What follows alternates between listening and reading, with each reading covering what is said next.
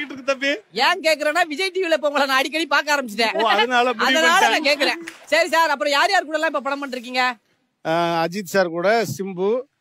சிவகார்த்திகேயன் தனுஷ் விஷால். ஆ, இது வாயா வட சட்டியான்னு தெரியல. சரி ஓகே.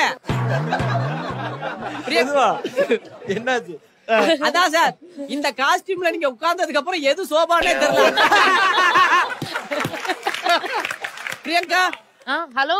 பிரியங்காவை பத்தி தெரியாதே. விஜய் டிவி வாட்ச்மேனே பிரியங்கா தான் தம்பி என்ன தம்பி வாட்ச்மேன்ன்றீங்க என்ன?